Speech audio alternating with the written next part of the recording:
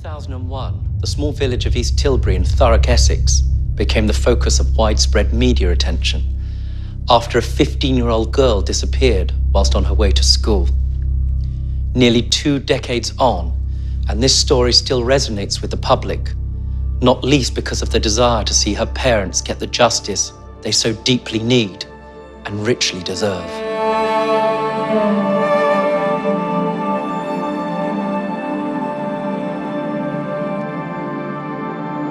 Danielle Jones was the eldest child and only daughter of Mum Linda. We were thrilled to have a little girl first. She was an adorable baby um, and a good baby. Very happy when she was born. We were, we were very close, mum and daughter, very close. She grew up with two younger brothers, mothered them, what I would say was a normal older sister. Academically she struggled and she she had lack of self-confidence with how she looked a little bit as well but in certain aspects she was quite confident. She adored animals and children. Her dream was to be a nursery nurse you know to look after young children and babies. Danielle was a conscientious student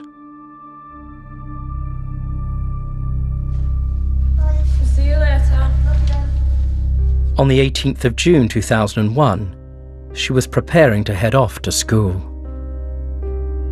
I remember her calling out to me, I'm off now. Bye, see you later. Perfectly normal Monday morning. Mitchell, he was still in junior school then, would always be sitting in by the window, watch her go off. Linda assumed that Danielle had gone to school as usual.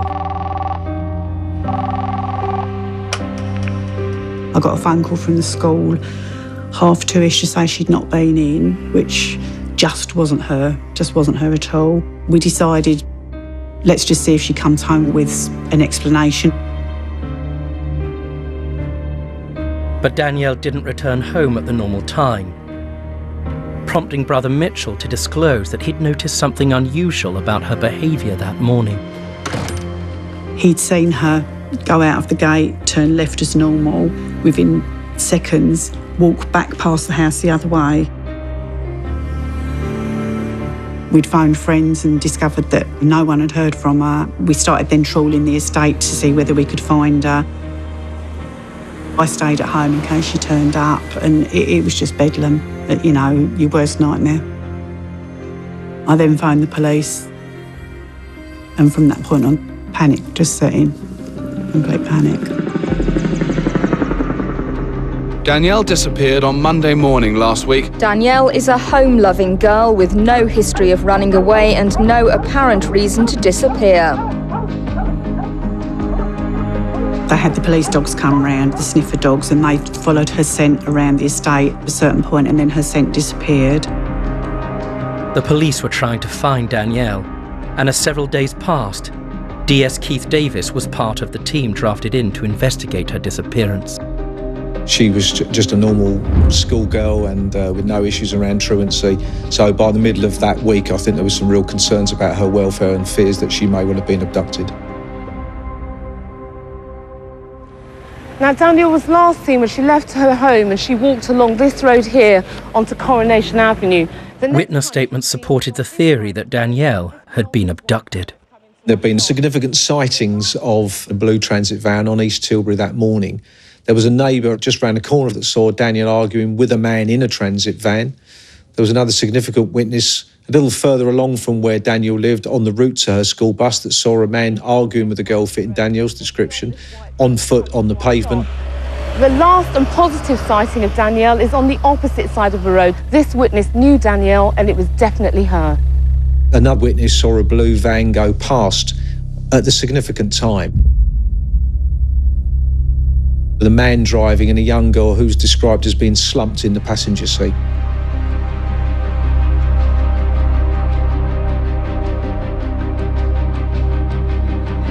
These sightings gave police a chilling lead as to Danielle's possible abductor.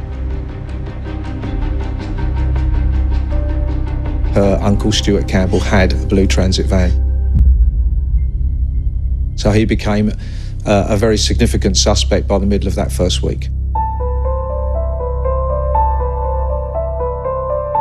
43 year old builder Stuart Campbell was married to the sister of Danielle's dad.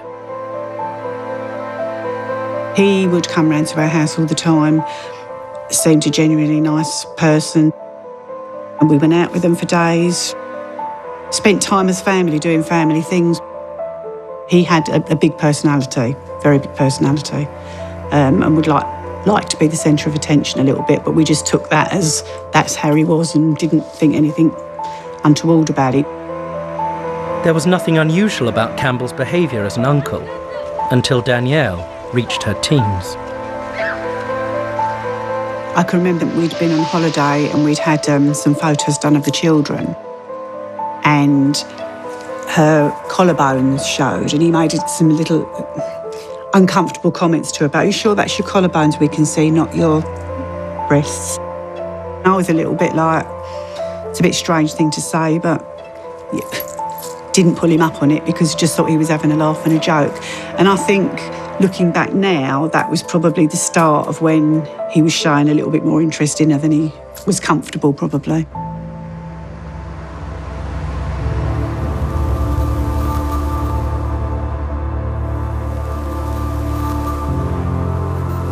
We became aware that he would meet her off of school bus sometimes.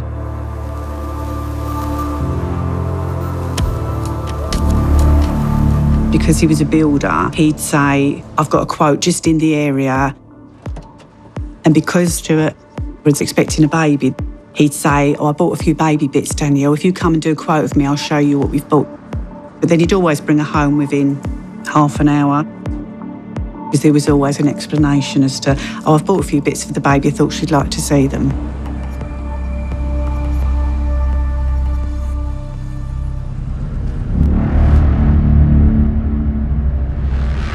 Up to 50 officers are now involved in the search for 15 year old Danielle Jones. She's now been missing for seven days.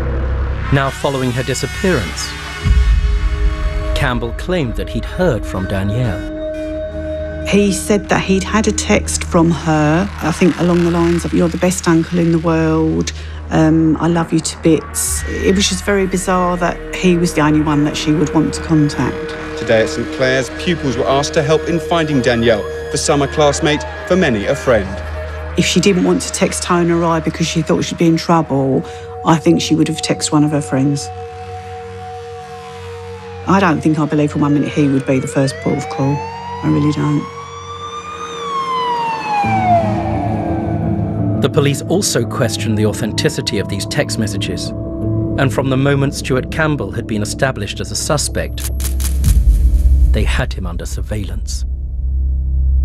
Everything he did while he was under surveillance just really confirmed in our mind that he was a suspect. He didn't go on a public search uh, looking for Danielle on the Thursday. Everyone was going and looking anywhere I could possibly think to look. He just wasn't doing any of that at all.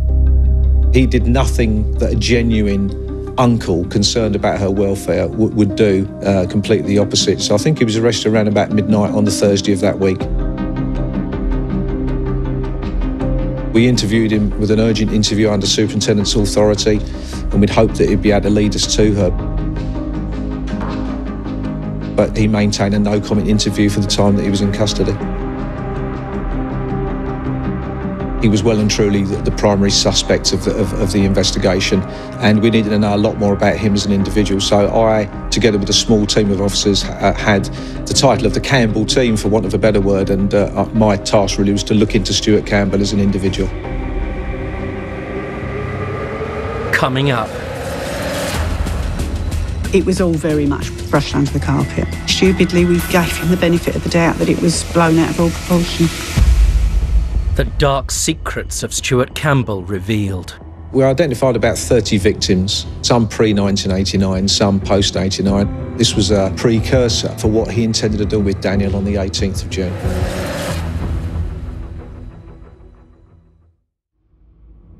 On the 18th of June 2001, 15 year old Danielle Jones went missing. She was last seen leaving her parents' home in East Tilbury to catch a bus to St Clere's Secondary School in Stanford-le-Hope. She never arrived. A short time after she left home, a girl matching her description was seen getting into a blue transit style van. This witness knew Danielle and it was definitely her.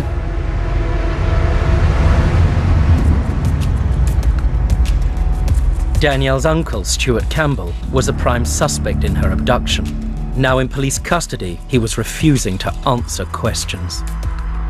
The only thing he did give on that, those early interviews was, was an alibi for the day in question, Monday the 18th, when he said he'd been out early in the morning to Wickes DIY store, some miles from where he lived, and that he'd returned with some goods because he was a local builder but we were able to actually fairly destroy his alibi through CCTV and through telephone evidence. We were able to show that when Stuart Campbell said he made a call to his wife at 8.25 to say he was running late from the Wickes DIY store, we know that from the cell site analysis that that was more likely that he made that call at, at East Tilbury.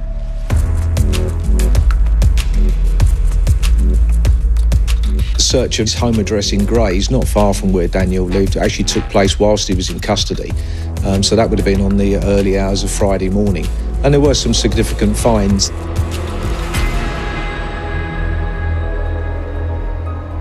One of the key finds was a duffel bag that was actually in the loft of the home address.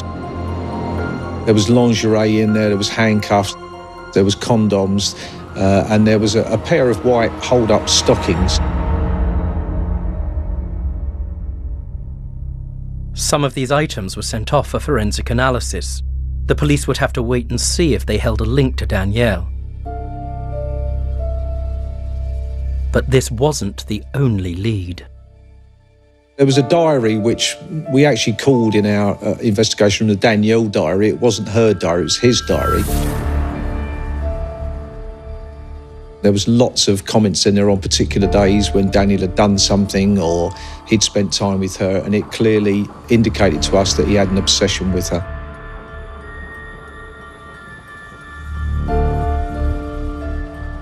There are not that many people like Stuart Campbell. He was completely obsessed with Danielle. This wasn't just some kind of interest he had.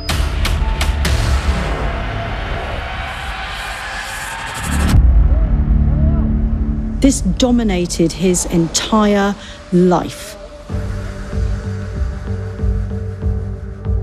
One of the other significant finds there was a piece of paper which had the words written chloroform taser and uh, 1610, which was Daniel's PIN number for a phone. It gave us a bit of an indication as to maybe what he'd been planning around uh, the 18th when we believed that uh, Danielle was abducted by him. I was certainly of, an, of a view that maybe he'd, he'd, he'd given Daniel some chloroform to actually render her unconscious during that time. Police also seized Campbell's computer, but they would have to wait to discover its contents. This was early days of computers, and we had to go to some fairly significant uh, experts to actually look at what he'd um, been looking at uh, and what he'd actually deleted. And he had deleted a number of images.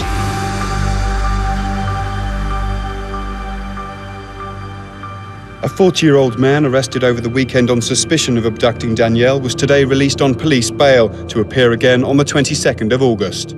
A very, very difficult decision was then made because we had insufficient evidence to charge him with any offences, and we still hoped and believed that maybe Danielle was still alive. And again, he was uh, subject to some fairly consistent um, uh, surveillance. Search teams arrived early this morning to begin the latest stage in the hunt for Danielle Jones. I think he was a very clever chap, and I think he probably knew that he was going to be subject to police attention. He visited uh, a building site in the early hours of the morning, which we initially gave some concern to about, you know, was there somewhere that Danielle's body could be. They were led to the construction site in Grays by significant new information. They won't say where that came from. At this point, Campbell's identity had not been released but Danielle's disappearance was still attracting huge interest from the press. The posters will go up in the Thurrock area, uh, specifically into shop windows. Um, we will also be looking at putting them on trains. So much so that Alan Cook was appointed media manager, especially to deal with this. Without a doubt, for that particular summer of 2001, it was the big news story. Posters showing Danielle Jones are the latest attempt by police to jog the memories of local people. The police realised that the media could play a part in supporting their investigation. Police are in desperate need of the public's help to solve this case. So if anyone does have any information, you can get hold of detectives here any hour of the day or night we wanted to keep this, the story alive in, in, in the news uh, because we wanted that information to come forward to help the investigation. So we, we proactively um, you know, sought media opportunities. It was always felt that the answer sort of lay within the community somewhere and that somebody must be able to tell us sort of something. Detectives investigating the disappearance of Danielle Jones have spent the night sifting through information from television viewers. Officers have had a superb response to their television appeal. Around 200 callers responded to last night's televised reconstruction. The focus was on about general gathering of information rather than just focusing on individual suspects.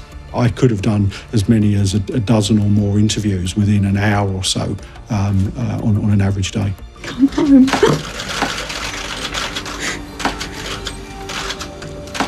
we miss you so desperately. Your brothers, your dad. Just come home.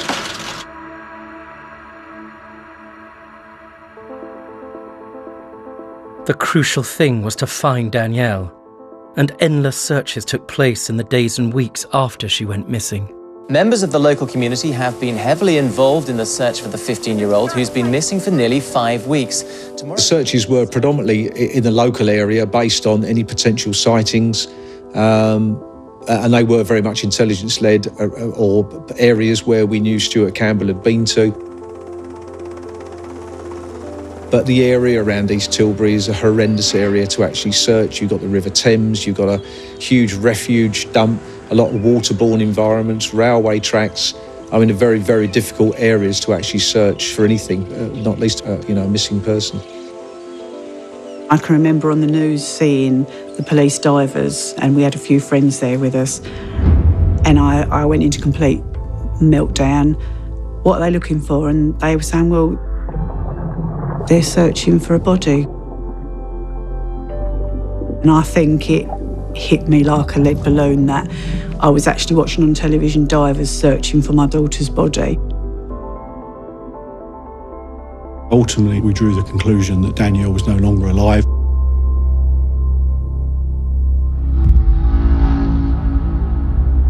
And that it was a murder investigation we had a suspect. So you, uh, if, if you're going to take that through its natural conclusion of a court case and a conviction, then you, you've got to be able to prove that beyond reasonable doubt. It was looking more and more likely that Danielle was no longer alive. The police had been working tirelessly to uncover further evidence to prove that Stuart Campbell was her killer.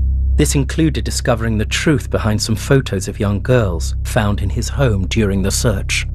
We found absolutely thousands of photographs that he had taken of young girls, scantily clad. He was a very clever motivator and he, he would portray himself as a, as a fashion photographer. He used to carry a little business card around him called Cinderella's.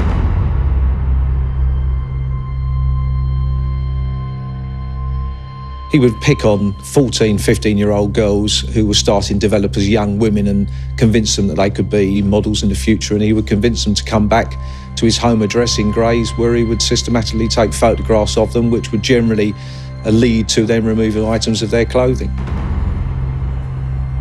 When we look at the research into child molesters, what we know about them is they tend to use three particular lures the ego, the friendship, and the attention which means that basically you convince your prey that you are a good person who just notices them.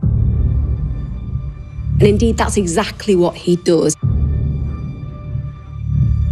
We found that he'd uh, previously been convicted uh, of abducting a 14 year old girl back in 1989. There'd been some plea bargaining and uh, it had been reduced down to a much lesser offence. Um, on the basis that he didn't actually serve any time in custody.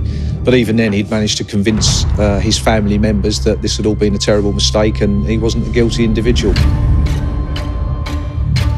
We just, at the time, thought genuinely it was a young girl that had panicked, changed her mind, she didn't want photos done, and It was all very much brushed under the carpet. And there again, stupidly, we gave him the benefit of the doubt that it was blown out of all proportion. But that was a very significant find because it clearly identified um, a modus operandi that he was operating back in 89, which he'd simply operated on Danielle in 2001.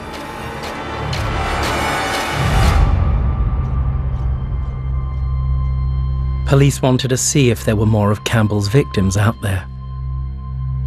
We identified about 30 victims, uh, some pre 1989, some post 1989, and the, the range of offences against these poor young girls was ranging from simply taking photographs of them up to being sexually abused and I, and I believe raped. Most of the time, it had not come to the notice of the local police because they were too embarrassed to either tell their parents uh, and, and more so report it to the police. So he got away with an awful lot of criminality. The theory that Danielle too could have been lured in by Campbell was looking ever more likely, especially when Linda recalled an incident some weeks prior to the 18th of June. On the 30th of April, we know from Linda that on that particular night, Danielle had gone with Stuart Campbell and he'd brought her back quite flustered. They came in she ran upstairs and he said, Oh, I think she's had a funny turn. In his diary entry, um, I think he said words to the effect of Daniel came round, played some PC games with the boys. He'd also written an accident, panic, but he'd rubbed that out.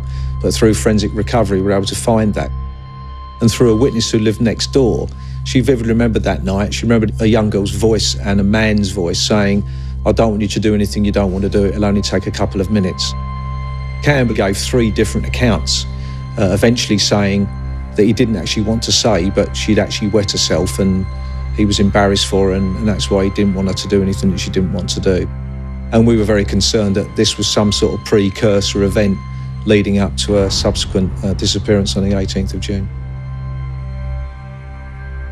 because of the age she was and hormones and everything, I just thought, well, yeah, I suppose it's a possibility. She's had a bit of a funny turn and and she was she was quite upset about it all and didn't really want to talk to me about it. To get to a child, you have to get past the parents. So the whole grooming process starts with the parents. You have to get their trust. And groomers will often be offering to do favours, to help you out in some way, to situate themselves in the middle of the family. Come home. and once once he'd got in with mum, he knew that that was the key to getting in with Danielle. Now, I wasn't aware that I was being used in that way. In hindsight now, I can see little things maybe that he, he got me very much on side, I think.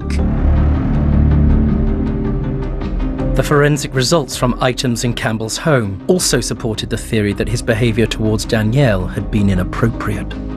There was a, a pair of white hold up stockings uh, that we found a significant uh, mix of DNA on. Uh, we think in a little blood stain, but it, the, the relevance was it was a mixed DNA profile of Danielle and Stuart Campbell. We felt we were making some good progress and there was a real need to rearrest Campbell and put some further evidence to him. So I was rearrested on the 17th of August of that, of that year.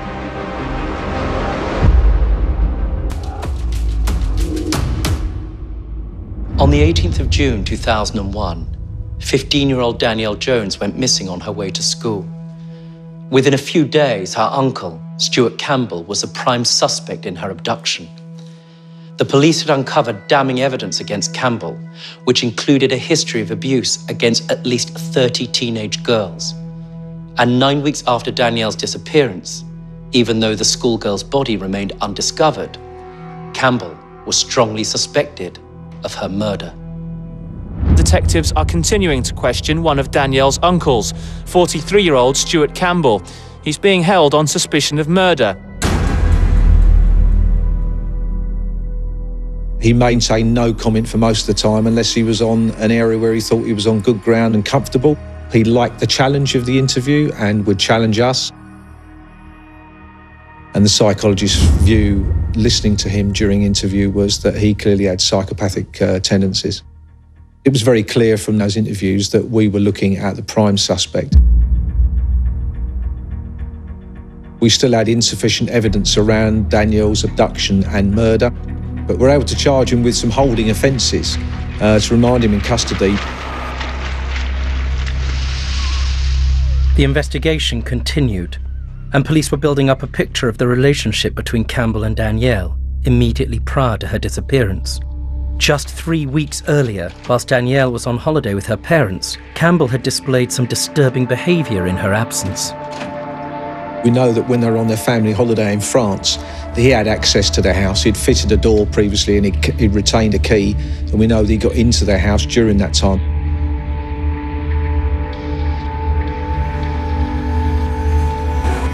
And left two notes for her in her bedroom.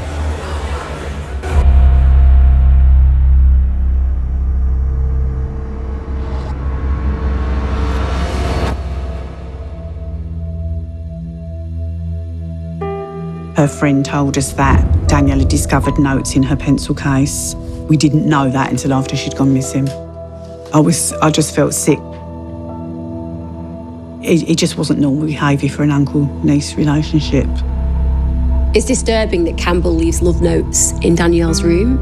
It's disturbing because it shows the delusion that he was having some form of a relationship with her. It shows you the secrecy that was involved in that relationship. And that gives us insight in the type of experience that Danielle was having with Campbell. A week later, Danielle was away once again. She'd been on a geography field trip the week before she went missing, and when she came home on the Friday, um, she seemed a little bit agitated. We just assumed she had a bit of a fallout with a friend. We found out while she was away, um, mobile phones weren't working where they were, so he'd had a week with no contact, which I think, come the Friday when she came home, he was bombarding her. The absence of Danielle um, from East Tilbury due to the family holiday and the school trip was frustrating Campbell. I think that their relationship was being called off by uh, Danielle, and he was frustrated. We know from witnesses that on the Sunday the 17th, the day before she went missing, she was having an argument with a man fitting Campbell's description outside a local shop on the East Tilbury estate. Campbell starts to realise there is a change in the relationship. She starts to distance herself. So he's losing the grip of power and control, and that's inciting fear. Campbell's entries into his Danielle's diary around this time certainly support this belief. The entries getting towards the time that she went missing uh, clearly indicated that she was very unhappy about this relationship and that she was trying to end it. And there were some significant entries about her being grumpy and, and not being responsive in the way that maybe expected her to.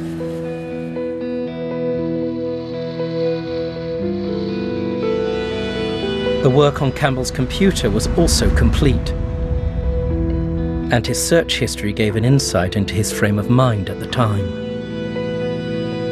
The weekend before Daniel went missing, he had looked at hundreds of images of young girls, scantily clad, some wearing schoolgirl outfits.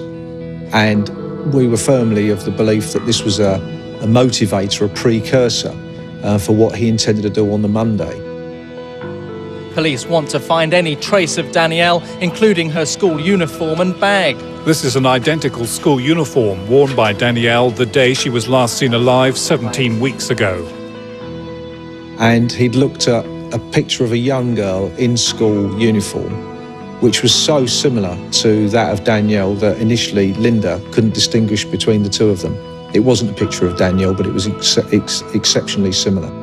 On the Sunday, he deleted all of these images, but we were able to recover those from his computer. Firstly, we now know he's absolutely a child molester because he engages in that kind of contact and content.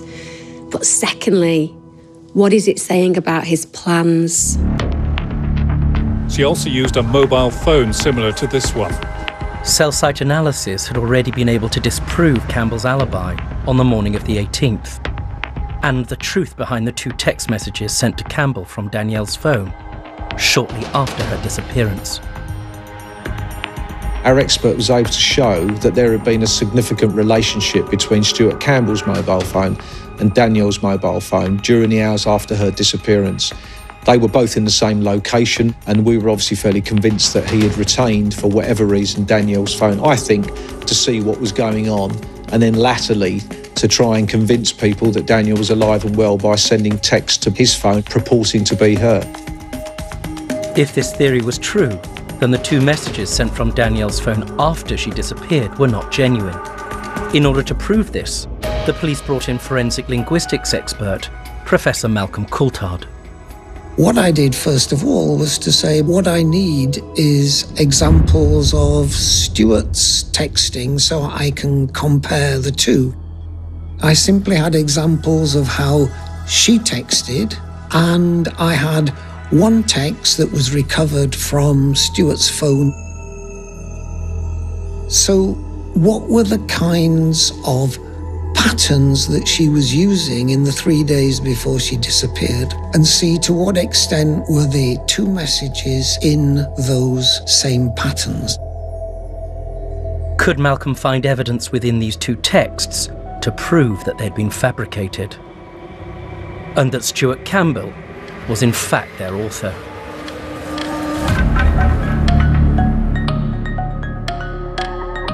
The first text message that was sent from Danielle's phone to Stuart's phone read, Hiya Stu, what you up to? I'm in so much trouble at home at moment. Everyone hates me, even you. What the hell have I done now? Why won't you just tell me? Text back, please. Love Dan. And second one, sent a day later. Hi, Stu. Thanks for being so nice. You are the best uncle ever. Tell Mum I'm so sorry. Love you loads, Dan.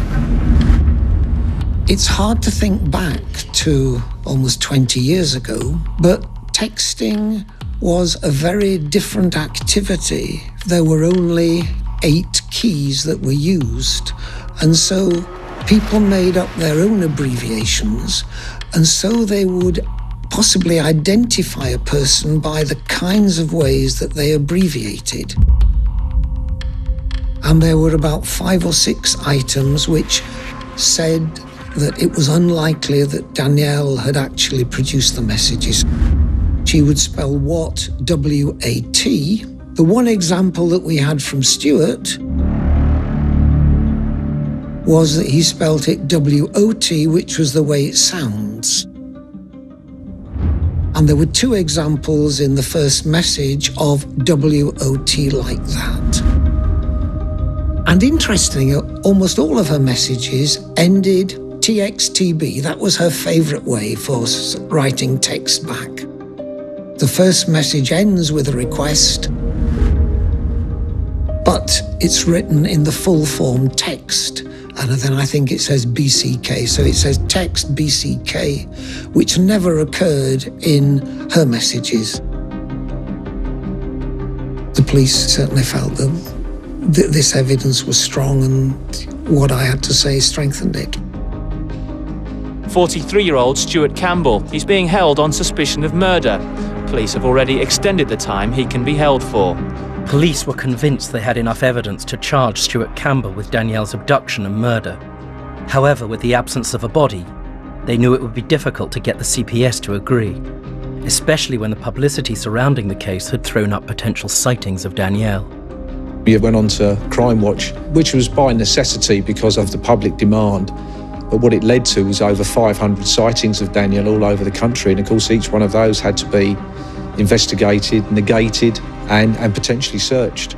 You need to be able to say that you've actually gone, investigated, looked, looked into it, and, uh, and, and it wasn't, wasn't her. We had to prove Danielle was dead and that she hadn't just simply run away. Had she run away, which was the, the, the, the defence had alluded to, would she have taken a change of clothing? Would she have taken a, a charger for her phone? Would she have taken money? The answer to all of that was no, she hadn't, but we had to prove that. So we put a very complete advice file into the Crown Prosecution Service on the 20th of October. Uh, and subsequent, at the end of that week, uh, the Crown Prosecution Service gave us the green light uh, to charge um, Stuart Campbell with the abduction and murder of, of Danielle.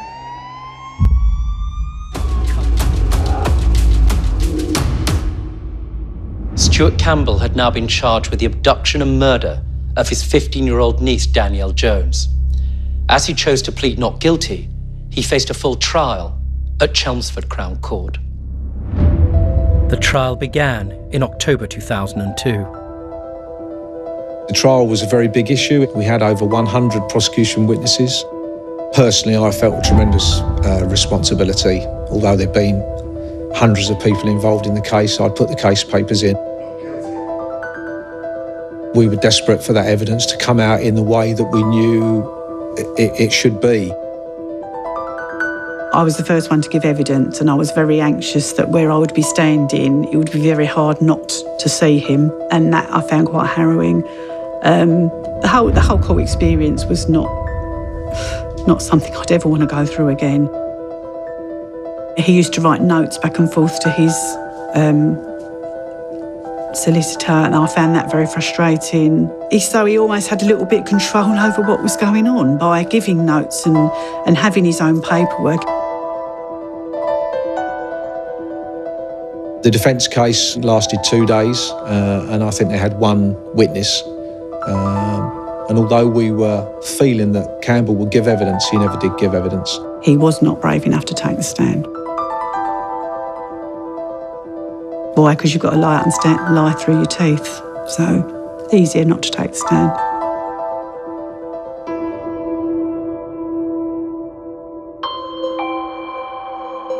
Amongst those who did give evidence for the prosecution was forensic linguistics expert Professor Malcolm Coulthard. Forensic linguistics is a unique area of expertise because it's the only area in which the expert is not the only expert. Because everyone who speaks English is an expert on English. The jury have the text messages in front of them. So, what I have to do is to draw their attention to particular features and then they have their own expertise and they can evaluate the evidence that I'm giving them. And that often turns out to be a very powerful kind of evidence because the jury then has its own firm opinion. It was pretty damning evidence, to be honest.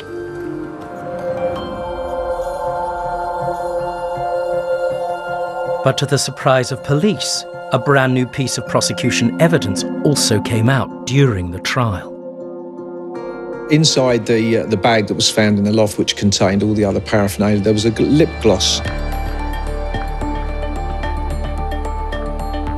But we didn't actually understand the significance of that lip gloss until during the trial, uh, when a friend of Danielle's um, stated that they had been shopping before she went missing when they had bought um, similar lip glosses. She'd come home from her field trip on the Friday. On the Saturday, she'd gone to a local shopping centre with a friend. We'd managed to do some really good work around that and tied down through the batch code that the, the lip gloss found had actually come from a store in Lakeside around about that time. We know that obviously the week before Danielle went uh, went missing, she'd been on uh, on a school trip and Stuart Campbell had definitely not seen her. So the only way that Stuart Campbell could have that in his possession uh, was if he'd abducted and been with Danielle on the 18th of June.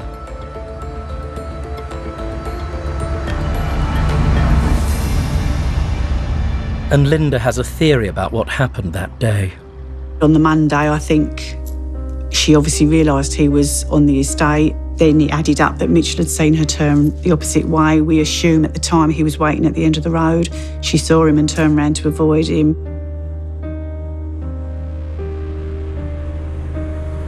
We were able to plot on a map the significant interventions of Stuart Campbell between her home address and that school bus. And of course, we know that she never made the school bus. Where we think she was actually put into the van is literally around the corner to our house. I think in my heart, I think she was ready to blow the whistle. And I think he knew that. He had to silence her. And the only way of silence her was permanent. We, we're never going to know this, but that's what I, I feel. The prosecution case was compelling, and after a 10 week trial, it took the jury 11 hours to come back with a guilty verdict. He just flopped down in the chair. He just literally sat down, almost in disbelief that that he could possibly be found guilty.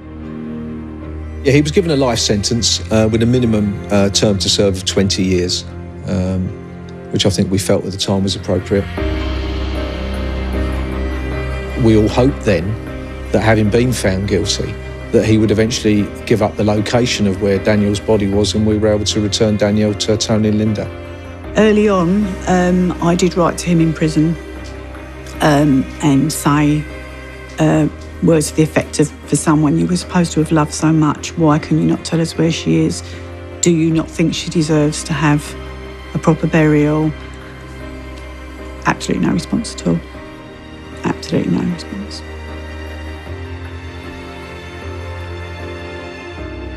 Never to tell us where she is, I think, is his his final control, and I don't think he'll ever give that up.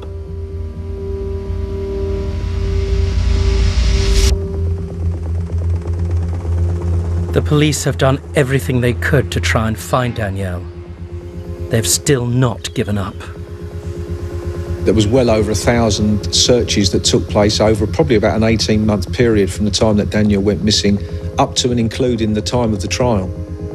Danielle remains a, a missing person, and the, the case never really full, fully closes. There's always someone that will sort of assess and, and take action where it's actually required. Danielle's body may have been buried here. It could be that other items linking to a disappearance and murder are also concealed here.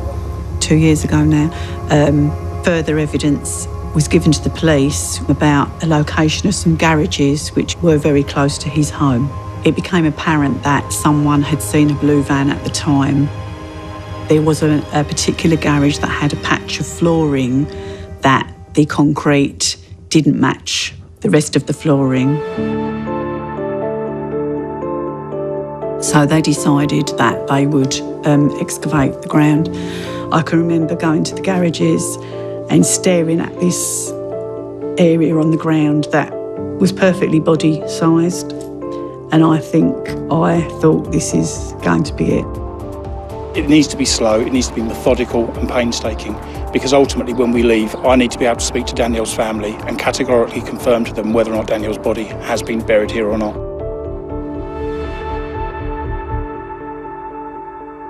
Unfortunately, it turned out that there was nothing there. So we, we do have to go through these things periodically, but We'll continue to go through it as long as we have to if the end result is, is Danielle.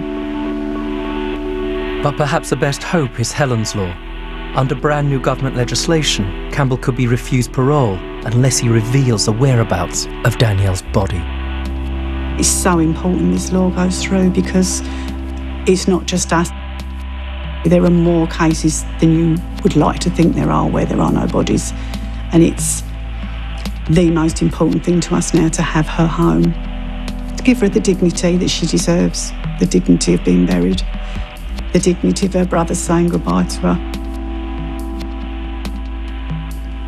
Just a lovely young innocent girl that was taken too early.